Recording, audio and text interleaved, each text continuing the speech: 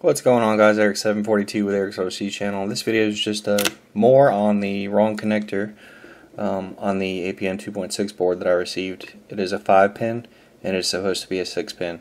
I did order a 6 pin connector. Um, I'm going to be taking this apart and just uh, seeing exactly what they did. So as far as I can tell there's just four screws on the back.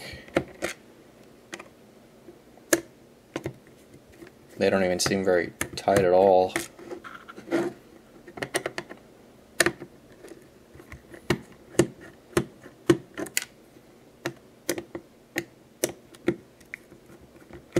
Okay. Alright. So it came right off. No problem getting the case apart. Let's see what we got here. They did have a foam over the barometer, which is good. I was curious if they did that or not, but they, they did, so that's good. Um, okay, so here's the bottom of the board. You can see a front. It's facing that way. And this was the top. Alright, so the, the connector that I'm talking about is right here.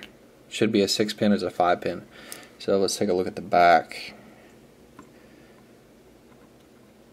Yep, they only used five of the six uh, five of the six pins on the back. Got the one, two, one, two, three, four, five. These are the ones they used. These are the ones they soldered it to, and there it is right there, the sixth pin right there, right in their face, and they put the wrong connector on there. It just amazes me that I mean it's so obvious. And it won't be a hard fix. I'll just uh, desolder these, put the new. Well, if I can actually find the right connector, it was like a forget what it's called, a DF13 or something, and I'll just uh, solder that on there with the six pins, and then I should be good to go. Um, shouldn't need a new board or anything like that. Uh, it's a very small soldering pad, so that's going to be interesting. Uh, I'm not used to doing stuff quite so small. Maybe you can fix, uh, if your board comes like this, you can fix the problem as well. There is six pins like they're supposed to be on the board. Um, just a straight up mistake on the part of the assembler. And actually, I'll put up some uh, pics of the board later on in another video too. That'll just be pictures of the board. I'm gonna use the uh, Canon 7, the 7D. So I'll see what if I can get some good shots of this and uh, the soldering pads and everything, and so you guys can see exactly what they did.